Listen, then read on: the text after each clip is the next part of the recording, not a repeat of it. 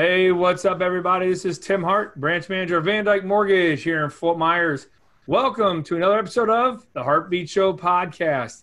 Got a uh, very uh, interesting guest. Found out he's a local boy too here in Southwest Florida. Um, David Wolff from Ocean Habitats Inc. David, how you doing? I'm doing great. How are you today? I'm doing good, buddy. Doing good. Uh, Mariner High School here, class of '94. North Fort Myers High School, class of '94, right? Go, go Red Knights. go Red Knights. Oh boy! All right. Um, so you guys, North Fort Myers High School, right here in uh, you know in North Fort Myers High, went to Mariner right across the street or down the road, I should say. So we got David on today. Um, we got a mutual friend, uh, Captain Planet Garret Stuart, and kind of pointed me in your direction. Started following you on Facebook, and love what you're doing, man. I think these products that you're putting out are so cool, and I want to dive into them, and I want everyone to know more about them. Um, so first off, good job on what you're doing, man. It's really cool stuff. Thank you. Thank you very much. Yeah, and so um, before we get into that, uh, the product you're putting out with these, uh, and what do you call them? The artificial reef? How do you how do you call them? I, it's called the mini reef. The mini um, reef because it's small and it, it's an underwater structure, so it's a reef. So the mini reef. Okay, gotcha. And so um, let's go ahead and before we get into that and what all it does, if you real quick don't mind, um, how did you? Because you were briefly telling me a little bit about your story. Go from where you're at now, like where you were before, and the inspiration to start up this type of product and business. Well, I actually worked on this when I was in college. Uh, the development of the mini reef started in Sanibel Island with the Marine Habitat Foundation on Tarpon Bay. So it was kind of a, it, started as a, as a college job, which, which was way better than Home Depot or, or Office Max or something. Right. Um, I was a marine, you know, marine science major, so it was fun to be out, you know, in the water and actually getting experience. Um, I also got to learn a little bit about, uh, you know, the realities of, of like running a nonprofit and doing marine research and having trouble getting funding for everything that you're doing. So, you know, my life kind of left that world, you know, went into real estate uh, for almost 15 years um, before I before I came back to you know kind of what my passion was. So it's kind of a long, twisting you know journey, but but uh, wound back up here, and, you know, working in Southwest Florida, you know, uh, quite a bit, uh, you know, doing something I love, which is which is a lot of fun for me. Yeah, so um, let's get into what these mini reefs are because um, I, I, I, think they're awesome. I think they're very cool for these docks. But why don't you start by explaining, um, you know, what, what they are to people that maybe don't know? And by the way, I'll throw a few pictures in here when the finished product comes out. So, okay. Yeah, well, what they are is an artificial reef, and they replicate what would be found underneath uh, mangrove trees and the prop roots in the water, uh, or you're further north in like in, in uh, saltwater marsh uh, plants. So they give a place for filter feeding animals to live. Uh, things like oysters and mussels that people are, are familiar with. There's about 150 different types be found around Florida that'll live on the mini reef. And what they do is eat basically 24 hours a day. And they, they eat out a lot of the, you know, the overabundance of plankton, dinoflagellates that cause things like red tide and brown tide. Um, some, like sponges, will even eat um, viruses, uh, bacteria, things like that. Uh, they're able to filter out things that small. Um, that's their food. And then, like everything, you know, they go to the bathroom, and, and that's basically the food supply for uh, the base of the food chain. Uh, little tiny animals that look kind of like shrimp. They're not. They're called amphipods uh, and different worms. And those, in turn, are food for baby fish and shrimp and crabs and um, lobsters, depending on where we are.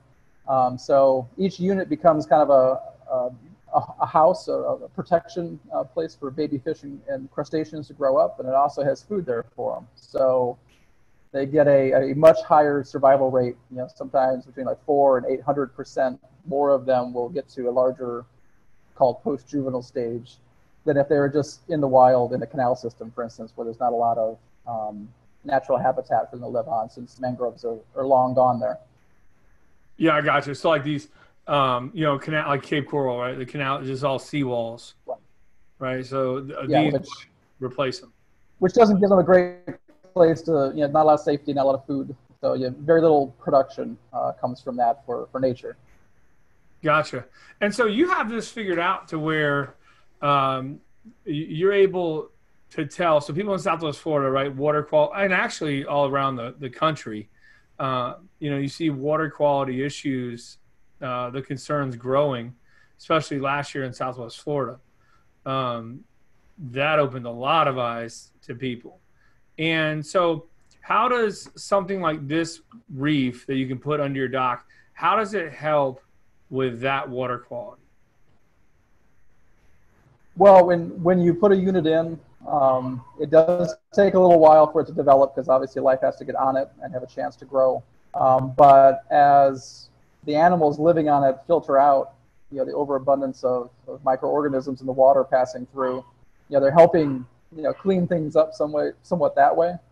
And then you have um, stuff like uh, macroalgae that will get on it.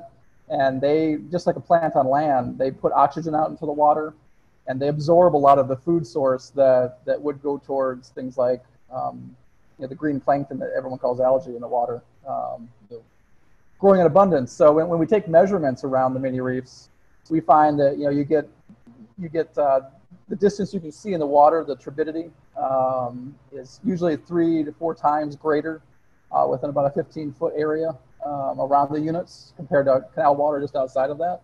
Um, you get oxygen levels that can be as much as 40% higher because of the activity going on in the unit. And, um, you know, you also have a lot less nitrogen, uh, phosphates, nitrites um, in the water because it's been, it's being consumed by uh, macroalgae um, that, you know, that are beneficial that are living on the units. So the water around the units is actually filtered and, and uh, cleaned quite a bit. Um, and, and, has a much better water quality um, measurements to it than surrounding canal water. So, you know, the, what we're working towards is having enough of them in a canal system where enough of the water, you know, passes through these units, and the entire canal can then, you know, be considered a, a um, you know, more more healthy than than it has been for for decades. That so what an awesome point. As I was wondering that, it's like where I live, it's it's on the water, and it's very uh, the visibility is not good um, you know, in North Fort Myers, right? Like uh, over there in right. the river, and um, it's not not clear. So I was wondering, you know, if putting that under your dock. So literally, like you could put it under your dock. You will notice in your little area, whatever the the the distance may be, that you'll see a difference in the water under that dock around that unit than you would outside of it. Yeah, yeah, you do. Um, you know, once they develop uh, that you know those those animals on there are going to filter. You know, the average is thirty thousand gallons um, a day. Uh, the range, yeah, every single day. It's about the size of an average swimming pool in someone's backyard. They they they eat everything out of that much water. So, um, yeah, obviously it's beneficial. And when you get to a, a situation where it's like a slack tide where the water isn't really moving anymore, that's where oftentimes especially if you have multiple units, you know, you can start to see actually a, a clarity difference um, because there's just nothing in the water around the units anymore. You can see the bottom instead of where you can't over like maybe on your property line. Um, once the water gets moving, usually it's it's a little too fast for the for the full removal of everything, so you, you don't quite see um, the same uh, you know, visual aspect to it. But um, it, it helps quite a bit. Uh, Mother, Mother, Nature is awesome at what she does. You know, if, if we could give her a chance to, you know, be around and, and help us out a little bit. That's cool, man. So, how did you come up with the idea? Well, this is an idea that people have been working on in, in universities in Florida, that type of thing, since probably like the 1960s. Um, Michael Klinsky was actually running the uh, Marine Habitat Foundation that I went to work for out in Sanibel Island and uh, at the time, we were trying to figure out a way to kind of mass produce stone crab or spiny lobster, you know, kind of commercially expensive uh, seafood. And uh, that that research work wasn't really going well, but you know, we, kind of figured out miniaturizing the units, um, got rid of the problems we were having, and actually the, those problems were turning into a, a, a benefit in the canal system. So that, that's work that we were performing there, like in the mid '90s, uh, mid to late '90s um, that foundation, you know, moved down to Naples and we, we were trying to kind of expand things, but the money dried up basically. And so the research stopped. Um, we probably had the mini reef about 80%, 85% ready at the time. Um, then I went and did my, my real estate world for a while. And then when I came back, uh, starting out of Marco Island, uh, where we had some people who were interested in, in, in, helping with this, we, we got units in that actually literally were from Sanibel that we built in high, I built in college um, and brought down there. And uh, kind of figured out the rest of the puzzle of, of to make sure they could have a, a long lifespan um, you know, that, that, they didn't perform, that their performance didn't decrease with time. You know, kind of, kind of got those bugs worked out. And then, uh, you know, our, our, really our last hurdle was, was, you know, if a major hurricane came through, what would happen? Well, then Irma came through, and uh, you know, we lost one unit, Marco, uh, in Hurricane Irma, even though all the water pulled out of the canals and rushed back in, and uh, we had units that were hanging in 150 mile an hour winds um, that are still there to this day. Oh wow! Um, kind of answered our question. The, the design works. Uh, it doesn't get destroyed um, in that kind of, you know, once every 50 years uh, occurrence in the area. So it can handle that. Then it can handle, you know, your normal afternoon thunderstorms and and uh, you know, whatever nature throws at it. As long as your dock, is, as long as your dock is there, the unit will be there. I got you. So you put um you put one under a dock. If someone out there does, how long before they start seeing life on there? Well, officials start using it immediately if they're in the area because it gives them shelter. Uh, it's, it's, it's a place to hide from larger predators. Um, depending on how salty it is where you live, uh, kind of the, kind of the fresher you get, the longer it takes for filter feeding animals to get on it to grow up because they usually have shells like an oyster. So you know, it's anywhere from about 100 days up to a year you know, depending on how far inland you go. If you're on the Barrier Islands, you've got, you know, 90, 120 days, you've got growth all over the place and it's, it's filtering at full capacity. It'll continue to develop more after that, but it's like going gangbusters. Um, if you're up by the 75 bridge, for instance, um, with uh, you know having mussels and that type of thing grow on there, it's probably going to take a full year before you know, the unit gets completely covered. You might take a, a couple spawning seasons for, for them to get everywhere and to have a, have the amount of time they need to grow up to full size. Gotcha. Um, and so when um, for the cost, so how much are these? Uh, currently, there it's a donation to us. Uh, Ocean Habitats Inc. is a is a nonprofit uh, it's $250, and we actually deliver and install the units to make sure the installation is good for, for uh, the life of the unit, uh, or really the life of the dock that it's under. Um, and if someone does order multiple units, there does come a point since we have cost savings of going to like one house uh, that we, we do discount um, the price once you get to like kind of 10 plus units. Um, you know, a marina who's putting in 50 units, you know, that kind of thing. We will uh, price gets a little bit cheaper then. Yeah, and then so are you? Uh, like, where you work? You working all over the state, or because I see you all over the place on Facebook. Yeah, we we're about 115 cities in Florida. Um, we're in 12 states altogether. We also have some freshwater units that ship like to the Midwest and and uh, out west. Uh, we're in the Bahamas. Uh, we've had some calls lately from Puerto Rico, some different places that some people who are interested in in uh, putting these in to try to um, have more sea life everyone's got the same problem. It's not just Southwest Florida. Uh, the water is not as clear as it used to be. There's not as many fish as there used to be. Not as many birds as there used to be. Um, yeah, so everyone's looking for solutions. So we, we've been we've been spreading quickly, and uh, this year has been kind of a race, uh, trying to keep up with it and trying to get to everybody uh, as quickly as we can um, as, as we scale this you know, up kind of larger and larger. Right, right. And you mentioned freshwater. So, like, I mean, w- what effect does it have in a freshwater? Like, you live on Lake Okeechobee, or I mean, or on a lake in, in general.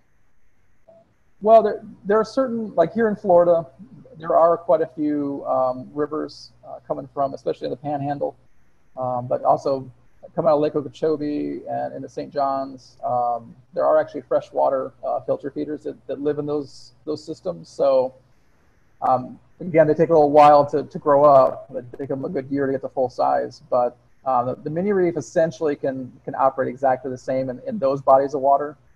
Uh, if you were in a lake, in a lake or a river um, that, that doesn't have any kind of um, animal uh, filter feeders, uh, they would be more of a, they'd be producing fish. Uh, they still work the same that way.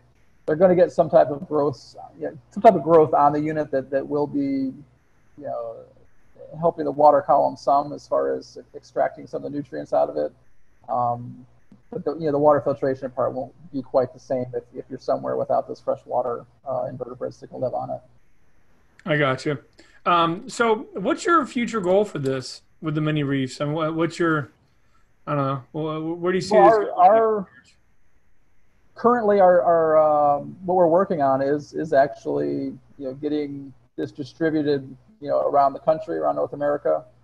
Uh, we have you know, a lot of people, a lot of interested um, companies calling you know, that, that interact with people, whether, whether it's marinas or boat sales, um, you know, seawall companies, that kind of thing, interested in, in giving their clients an opportunity to find out about what we're doing you know, and putting these in. So our, you know, our kind of five, 10, 10 year plan is, is to, you know, have a, a hundred thousand units in the water, you know, and be cleaning, you know, a hundred billion gallons of water a year. And, producing millions of fish and crabs every single year. Um, you know, just the state of Florida, you know, there's almost a million docks here, uh, and, and, under almost all of them, you know, it's just wasted space. We're not doing anything with it, and uh, it's an opportunity to to bring back a little bit of nature that we lost during development, you know, and, and, and make a difference. So that's what we're working on. You know, put something in the water that that um, you know, can make a positive effect and putting as many of those in as we can. Yeah, and so just so everyone out, out there knows, like, how do you how do you install these? Uh, well, we, we, we come in. You have to get underneath your dock uh, to make sure there's no, there's nothing. You know, sometimes people don't know that cement was poured. You know, years ago. There's a pile of cement blocks under there or something like that. To make sure there's no obstructions. And then we attach the mini reef to uh, the dock as the floating rings that go around your dock pilings, um, either two, three, or four pilings, depending on how the how the dock is built.